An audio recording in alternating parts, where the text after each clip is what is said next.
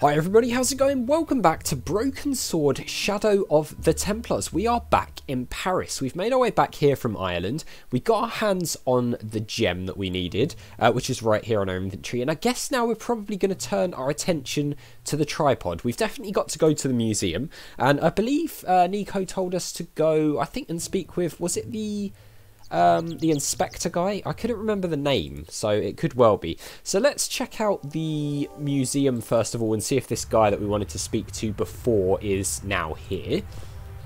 And we know the tripod's here anyway, do don't we? Right, okay. Maybe he's Pardon still me. not here. We miss you? Is he back? We can ask some questions anyway. Do you know anything about the Knights of the Temple? No, sir. Not a sausage. The sign on the tripod says it was found at a Templar preceptory. It does Yeah. It doesn't mention John Dee at all. most remiss. You don't know anything about the tripod, do you? No, I don't. I never had much of a start in life, you see. I owe a little education I gained to my uncle. He was an optician, but he also doubled as the village school teacher. He taught me the alphabet. Wait, uh, 19 letters of it. The bottom row of the chart was uh, too small even for him to read, so he left them out. Why don't you start over and We've we've had this conversation before, haven't we? So we can we show him this? I found this gem at a medieval site in Ireland. That means nothing to me, monsieur. How did you manage to get this job? I had the right qualifications. Good for in you. Military manner, squeak shoes, and an irrational hatred of children. Nice. All right. Uh, so before, I'm sure we asked him about the the guy who was supposed to be here, and Can I can't remember how we did further that. information about the tripod? Certainly, monsieur.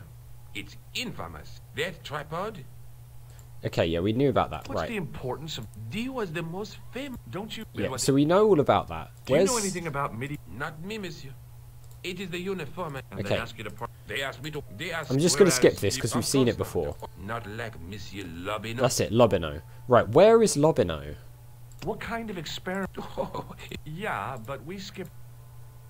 Hmm. So Can we've I take a closer look at the tripod? what? Get it out of the case. That How sophisticated? that's ah right. How is the alarm bell triggered? by the slight. Yeah, we asked about this before, didn't we? So we know how the alarm bell is triggered, and then we tried to hide in in here because it can move. So hang on, let's see if we can. No, you won't do that. So if I remember correctly, we had to use this thing, and then when he wasn't looking, we could get in here, right? But before it was saying, oh, we could be in here for hours, blah blah blah. So let's see, can we? Quick, George, quick!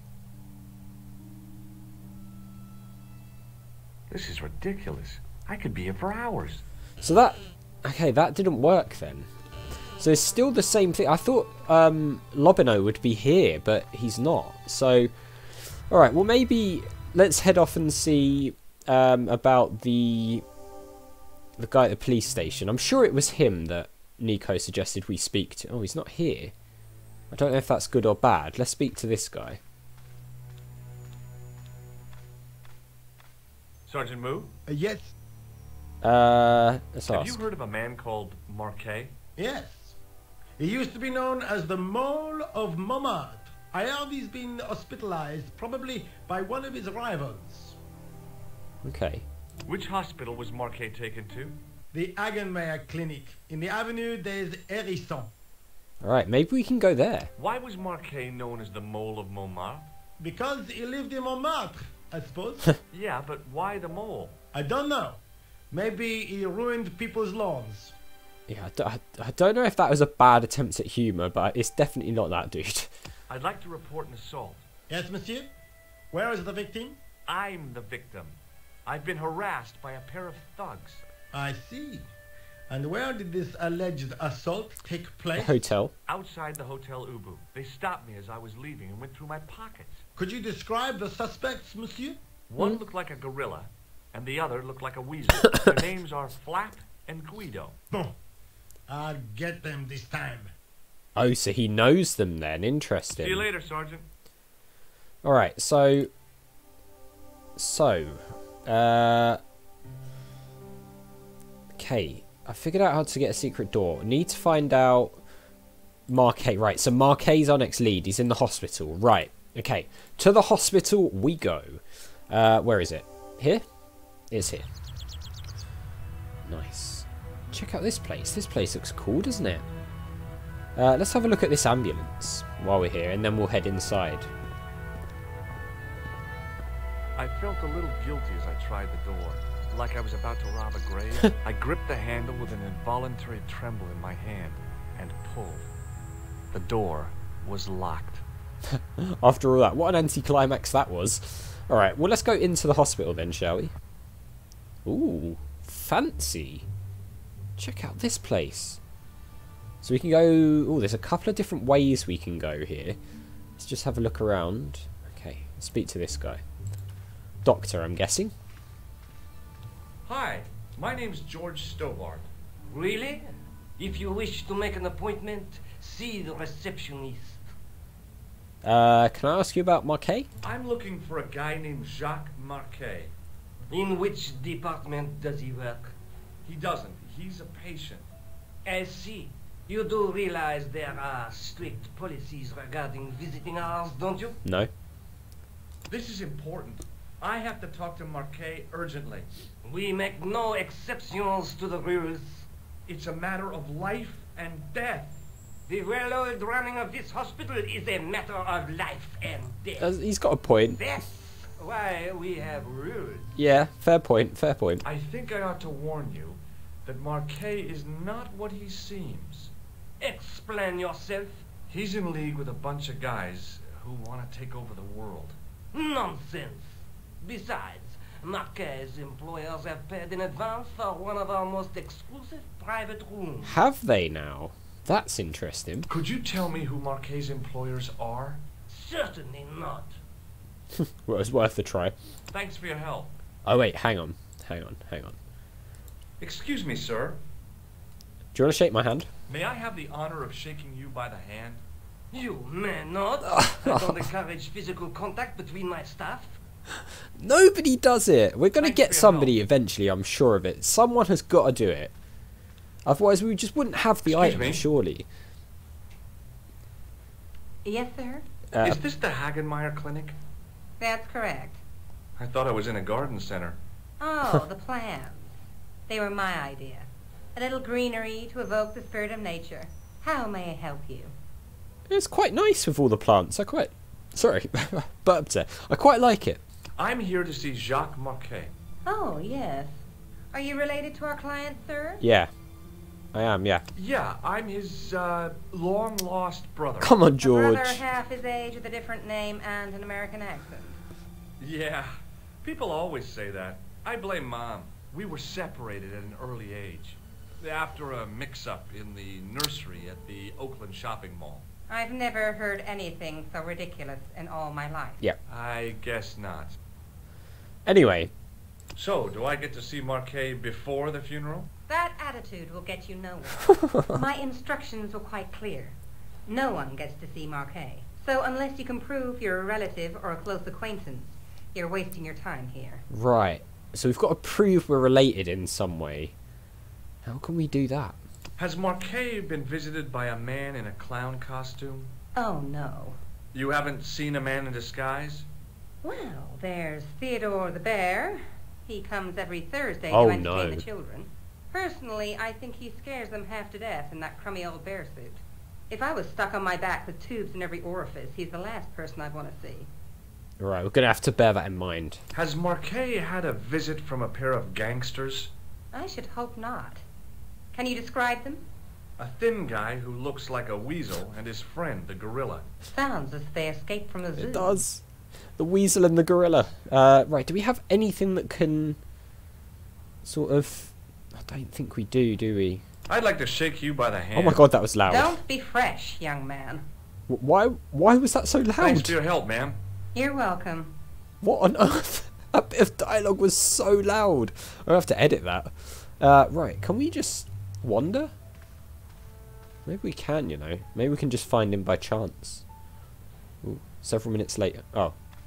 We cannot find him by chance, it turns out. okay. So, we need something to do with a hanging man. Okay. Hmm. So, we can't seem to find him on our own. We need something that proves we're related, but I don't think we have anything. Excuse me. Yes, sir? Uh, do we have anything? I don't think we do. What does this gem suggest to you? I advise you not to flash that around. Yeah, I was just thinking that. I didn't actually think he was going to show her, but there Thanks we for your help, ma'am. You're welcome. I don't suppose the doctor can tell us anything else. We might have to go and find Excuse something. me, sir. Uh, no. Thanks for your help. Alright, well, we're going to need something to prove that we know Marquet. Unless, could there be something in here? The door was locked. Can we... Hang on. I Don't suppose we can use this to, like, open it up? No. Okay. I don't really want to vandalise an ambulance, but... You know, if it comes to that, then it might come to that. Uh, how do we... Hang on, how do we get out of here? Oh no, is this another situation like the one before? At the hotel, where there's, like, no way to leave the area? That's kind of weird if so. But that must mean that we can do something here, right? So maybe we've missed something? Or maybe we do have an item which proves that we know him, of course. So there's a bunch of things up here. Excuse me. Yes, sir? Uh, hmm. Have you heard of the Club Alamut? Oh my god. No. It sounds romantic, doesn't it? Why are some of the lines so loud? Look at this ID pass. So you're Moerlin. Yes. Marquet's been asking for you. Oh! For me? Yes! Yes. He was shouting your name when they brought him in here. Now, let me see. He was on Ward B12, as I recall. B12. Oh, he's being transferred to... Oh, dear. He's on Ward J2. That's... Nurse Grendel's ward. Who's Nurse Grendel? What's so bad about Nurse Grendel? She runs that ward like a South American prison. Keeping a well-disciplined ward isn't a crime, is it? Well disciplined. In the discipline and punishment stakes, she'd whip the butt off the Marquis de Sade. Everything, I mean everything, is done to a strict routine. Six o'clock alarm call, six ten bowel movements, and woe betide anyone who doesn't have a result. Those patients of hers are like Pavlova's dogs. She sounds like a real nightmare. And then some. He's probably safe in her care, though, to be fair. If Nurse Grendel is that bad, how come the authorities tolerate her? She's like part of the furniture. I was beginning to get the picture. This woman was jealous, with a big green capital J. Anyway, we know where we're going, How right? do I find Nurse Grendel's ward? Down the corridor on the left, turn right at the senior consultant's washroom. Right again at the executive coffee lounge. Bear left past the administrator's Oh, sauna. God. and turn left at the end. That's J2. And good luck. I wasn't listening. Thanks for your help, ma'am. You're welcome. Some of the dialogue lines were really loud in this particular conversation. I don't really know what happened there. As I turned the corner, I saw the source of the hellish noise which echoed through the corridors. It was an industrial polishing machine with an odd-looking guy in tow. You're right, mate. Uh, oh god, there's a lot of doors and things here. It turns out.